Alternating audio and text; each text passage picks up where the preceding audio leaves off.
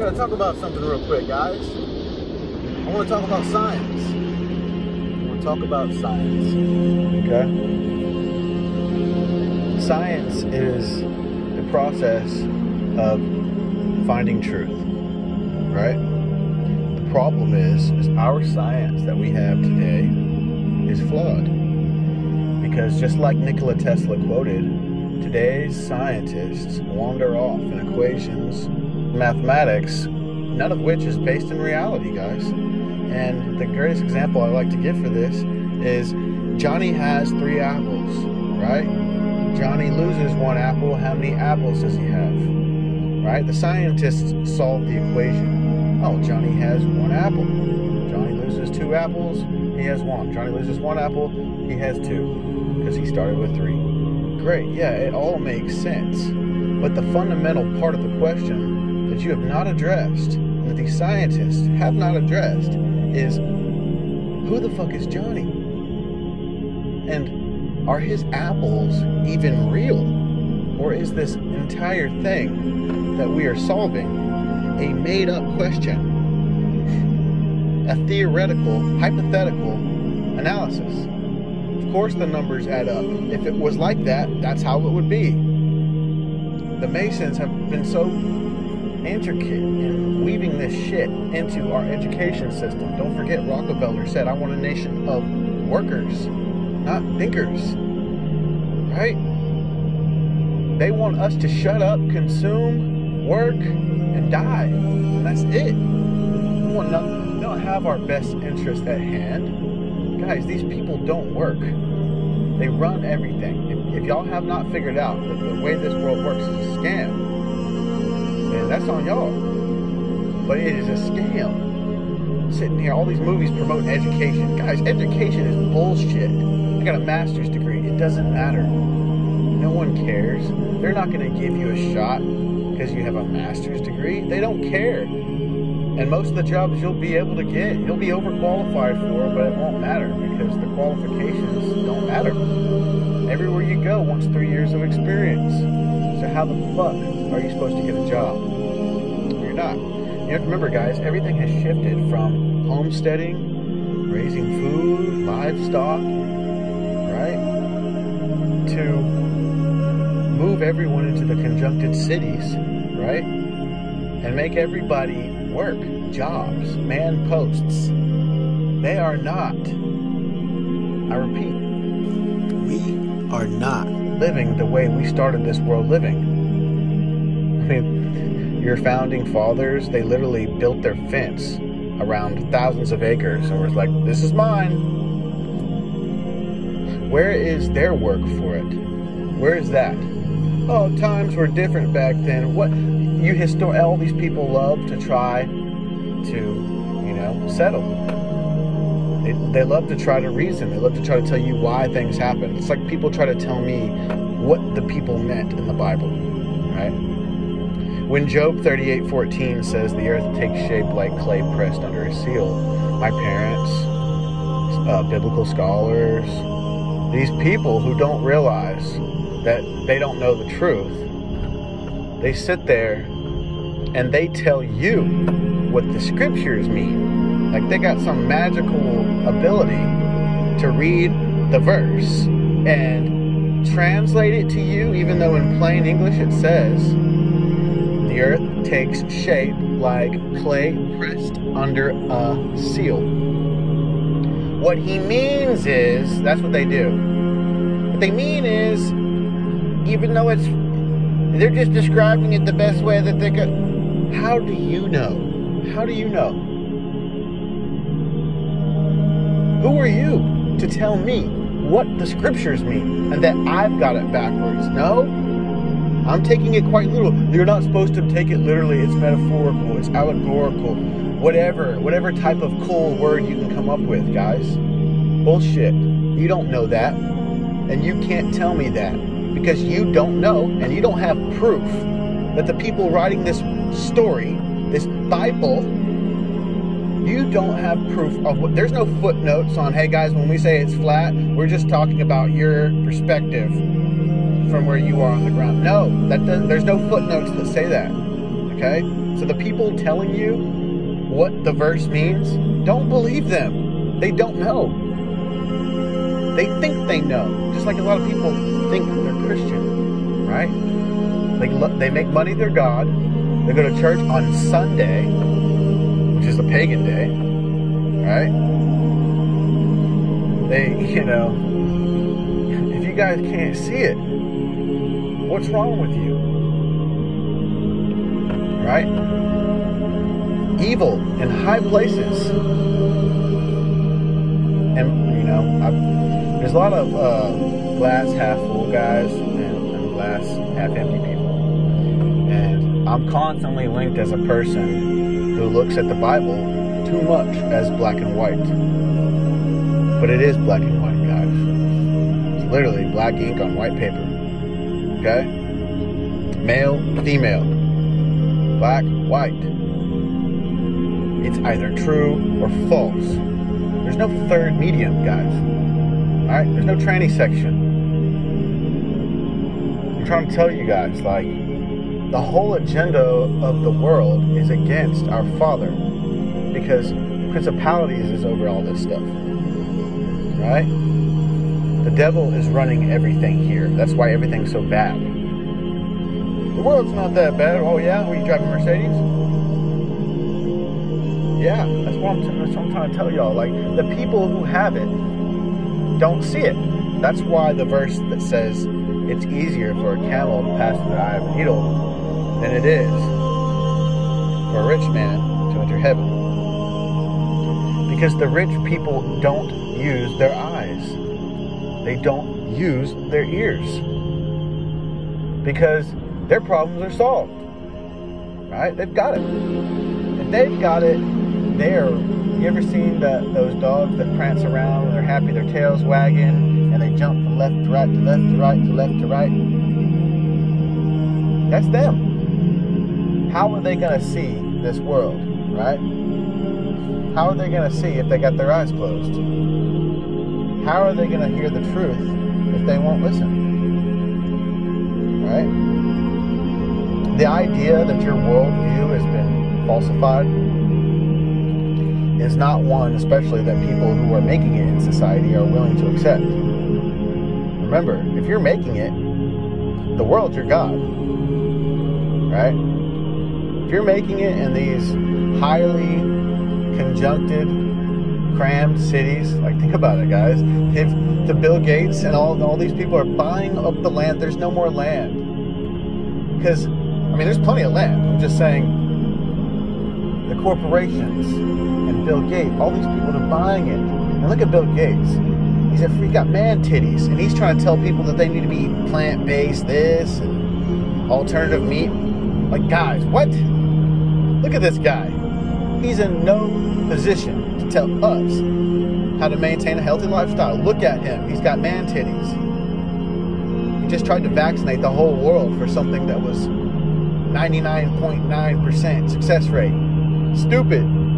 Guys, shut your business down. Close your shit. Now everyone's supposed to just forget about it and, and cut our losses and be happy. No, guys. You're gonna just forget. You're gonna forget that gas was a dollar sixty four years ago. So for the last you know, year or two, when it goes down to 350, everyone's like, hey, times are going good. Gas is down. What?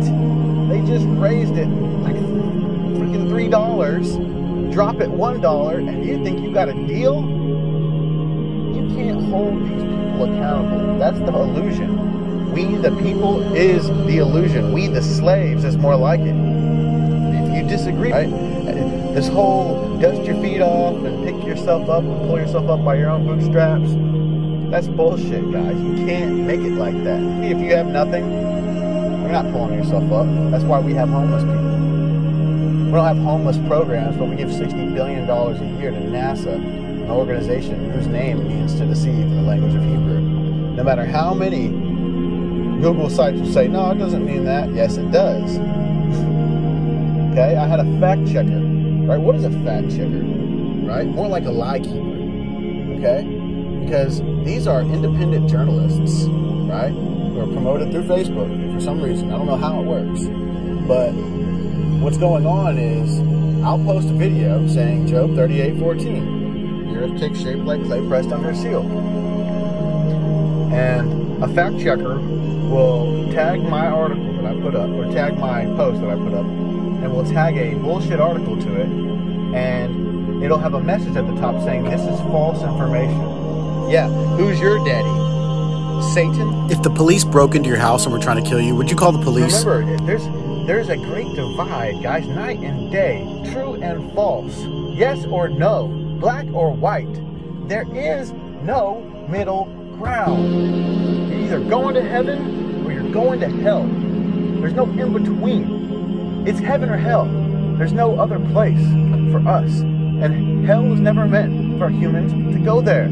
If you do go there, you go there on your own free choosing. Don't y'all get that? You choose to go there by believing in dumb shit. You believe that the world's a round ball in infinite space, you'll probably commit more crimes. You'll probably live in sin. You'll probably have less regard. And two, even if you don't do all those things, you won't know the truth, so you'll be deceived. And, and that's what the funny thing is, is guys, that the whole thing, everyone is just deceived. They just don't understand. They don't use their eyes to see, they don't use their ears to hear. Right? If you're using your eyes to see and your ears to hear, everything shows you that we're not on a spinning ball. Everything does. Why does it why does it matter? I'll tell you why it matters. They're stealing your money. Right? Space station is a serious place. We're doing serious research, scientific research and engineering research. Here is Pig. And of course, Pig is the arch enemy of Angry Bird. Not helping those people on the street, which is our duty, by the way, as Christians. Not only to give them a, a coin for, for more bread, because men do not live on bread alone. Jesus. We are to tell people the good news. Have y'all not forgotten? Have you heard the call? Have you heard the call? Are you spreading the good news? Are you battling your sin? Are you submitting to it? That's the difference, guys. Submit to your sin or battle through it. Battle, fight against it. The devil had nothing that Jesus Jesus wanted. Jesus told him that. You have nothing I desire. Nothing. You have to not desire these things, guys. Not want them. Everybody's looking for a rich life filled with money. Guys, the scripture, you don't need that. You want that. As long as you want that, he's got you. You're cooked. Don't have to be this way, guys. Open your eyes and look. The sun is not coming up. It's going, it's coming towards us from a distance. So it's going to look like it's rising.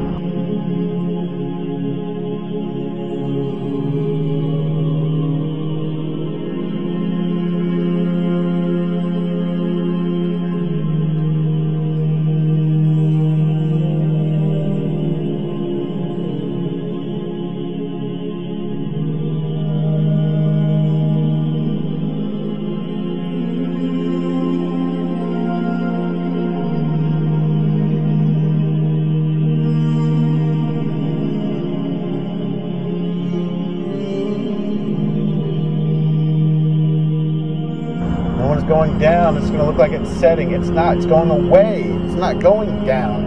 It's at the same level it was whenever it came across the sky. It's funny how at noon we'll say, oh, high noon. The sun's at high noon. Before, the sun was always at high noon. At 9, 10, 11, the sun was at the same height. It was just further away from you the whole time. And as it gets closer, the highest point is noon. The funny thing is, is you'll sit there and say, that the sun is rising up and then setting down. And then the scientific bullshit establishment will tell you that the earth is falling back when it's set. No, no, guys, no, it's not. No, it's not. And white lab coat syndrome is what I was getting to. That is the basis of my video today white lab coat syndrome. Coining the, ter- the term that represents people who submit their conscious, objectable thought to people in a white lab coat. So, I'm not going to be able to battle the man in the white lab coat. He's more powerful. He's a wizard, basically. And he says the earth is round. If you go against that, you're going against science.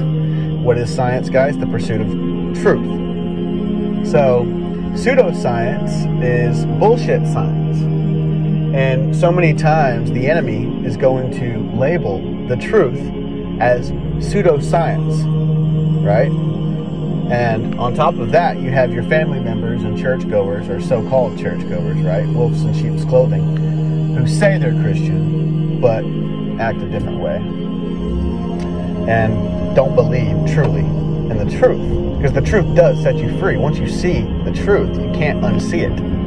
You've never seen anyone go from being a flat earther to being a round earther. You only see people going from round earth to flat earth. You never see anyone go back. Why is that?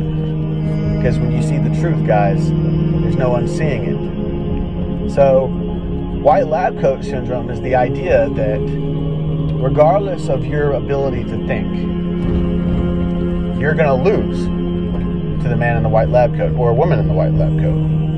If they say they take the title scientist, right? In reality, they are a pseudoscientist. They don't know that they are. They believe that they are telling the truth. Right? Show me a picture of space, guys. You can't. Right? Because all the images are fake. Right? Anytime someone takes a so called picture of space, what time of day is it, guys? Do they do it at daytime? Have y'all ever thought about that critically? They don't. All the pictures of so called space is taken at nighttime. Why is that? Oh, the sun shines so bright that during the day that we can't see into space.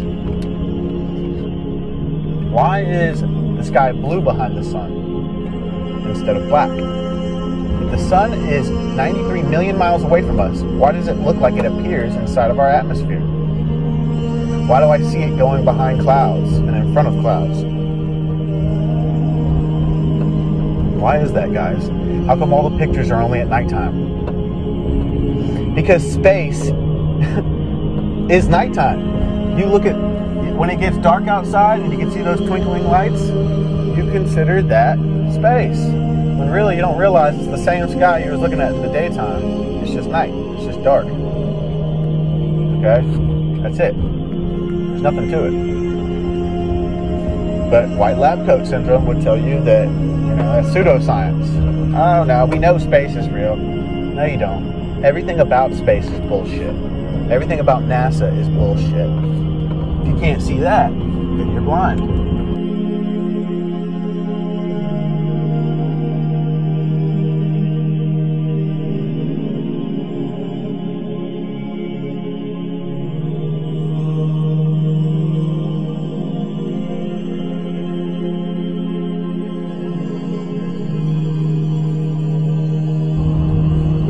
So, just remember, guys, white lab coat syndrome is what's got you stuck. It's what's got you paralyzed and inability to think for yourself and critically think about what's really going on and disagree with the white lab coat man. Because you can't. It's in you cannot disagree with the white lab coat. You can't go against science. You've been taught that science is the process of understanding truth. And it is. But you don't realize that they've lumped real science, like looking at biology, hypo- hypothesis, control, experiment, conclusion, tangible, observable, measurable, provable. Space is none of those. Can't touch it, can't prove it exists, can't measure it.